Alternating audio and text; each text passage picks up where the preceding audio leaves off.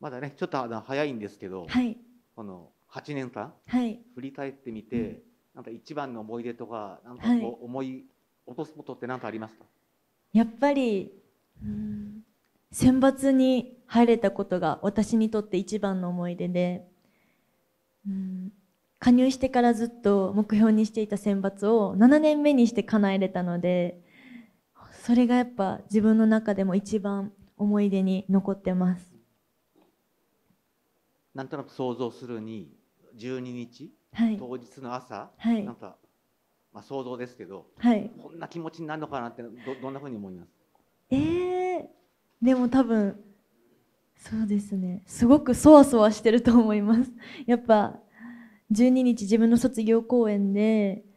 まあほとんどなんか主役というか自分が一番なんか見られると思うのでそれを考えると多分朝起きた時はそわそわしてるんじゃないかなって思います。あとね今年あの二十歳ということで、はい。えなんとあの10代から20代入られて、はい。心境の変化とか、はい。生活の変化とかって何かあります？か、やっぱ19歳の時はすごい、うん、守られてたというか10代の頃は。でもやっぱ二十歳になると大人の一歩を踏み出すのですごい全てが自分の責任って思うようになってであまりそうですね両親を頼らないようにしようっていうのを今は心がけているのでまだなんか10代と20代の違いがちゃんと分かってはないんですけど今の目標はあんまり両親に頼らないようにすることです。ちなみにえその両親に頼ってた部分ってどどんなどんなところなんですか？えー、なんやろうやっぱ料理もそうですし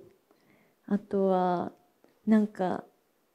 お仕事が終わってお家に帰ってからお風呂が溜まってたりとかそういうのを見ると本当になんか親のありがたさを感じるというかでもそういうのも頼らずにきちんと自分でできるようにならないとなって思ってます。二十歳になられてこう、お酒の方いかがですか？は父と飲みましたね。一回だけ飲んだんですけどやっぱまだ口に合わなくてあ自分はちょっとやっぱまだお子様だなっていうのを感じました。えちなみにお父さんと何飲んだんですか？私は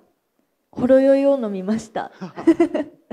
お父さんに選んでもらって一番なんかお酒の味がしないものを選んでもらいました。じゃあじゃあサワーの始ま始始まりってことですねじゃあ。そうですねはい。サワーで始まりました。えじゃあまだビールとかない？は一口だけもらったことがあるんですけどやっぱちょっと苦手でした。でこれからちょっとねもう20はい代になったんで、あのちょっとずつもそうです練習じゃないですけど、はい。そうですね。うん。父と一緒に練習していきたいなと思ってます。飲めるように君あの卒業した後なんですけど、はい。えあのまあ一人でねどういった活動予定でいらっしゃるんです？卒業してからもまだ芸能のお仕事は続けたいなと思っていますしそうですね。これからもグラビアのお仕事ももっと続けていけたらいいなと思ってますしあとはもうとにかくお仕事の幅を広げていけたらなと思ってます。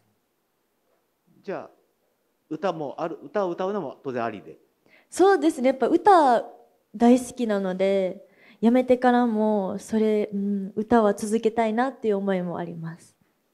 じゃあ基本的にはじゃあ、まあ、歌とグラビアとあとまあお芝居というか、もしたいですしバラエティでも出れたらいいなと思ってます。今ねほらあの大阪の方にあの劇場あると思うんですけど、はい。本拠地的にはやっぱ大阪メインでやるのか東京進出なのかその辺どうなんですか？えー、それは全然決まってなくてまだ。これからやっぱちょっと考えていかないとなっていうところです。ご自身の希望としては割合としては？えー、でもやっぱ大阪が大好きなので大阪に大阪から出たくないっていう気持ちもありますしでもやっぱ東京っていう大きな街になんか経験として、うん、一人で暮らしたりとかもしてみたいなっていう思いはあります。まあ、今日ね今東京の渋谷にいらっしゃるわけですけど、はい。どうですかし東京の街いいかがですか？ねいやもう本当に大きいなと思って東京って。なんか渋谷だけでこんなにも広いんやっていう毎回やっぱ東京に来るたび東京の凄さを思い知ります。いや大阪も大きいですよ。それでもやっぱ慣れてるので大阪はすごいいろんな場所行っても迷わないんですけど東京は毎回迷っちゃいますねやっぱり。最後にじゃあ一点だけあと、まあ、写真集、はい。まあ、あのファンの方にはどのあたりをこう注目して見てほしいなってのあります？かやっぱりその私のファンの方は結構12歳の頃から見てくださってる方がすごく多いのでその二十歳になった大人になった私を見てこの一冊で成長を感じていただけたらいいなと思いますありがとうございます。ありがとうございます。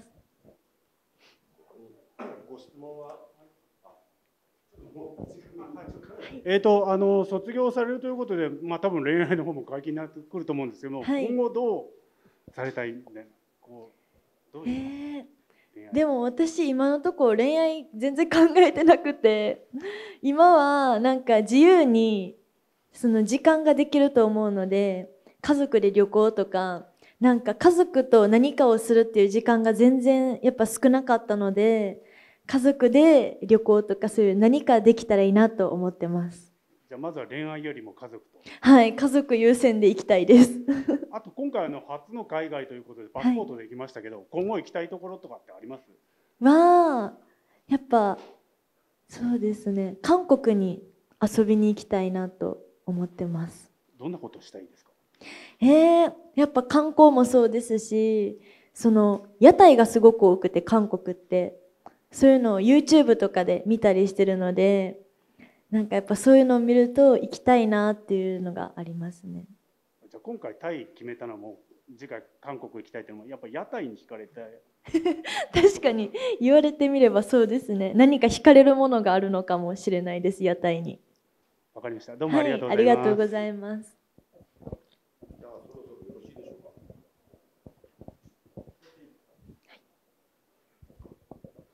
前回のファースト写真集もこの全く同じ場所で記はい。者会見されて、はい。でも今回は卒業を控えられているということで、はい。前回と今回で見える知識景色の違いってありますでしょうか？前回はやっぱまだ卒業とか何も決めてなくてでこの場に来たんですけど今回卒業発表してからこの場に来たってことなんですけど、うん、NMB としてもこうやって東京でお仕事をさせていただける機会がすごく減っていく中で最後こうしてこの H&M&Books の渋谷店さんで、うん、こういうふうにまた記者会見をさせていただけたことがすごく嬉しいですし私にとってもめちゃくちゃ思い出に残る日になりました、はい、ありがとうございます。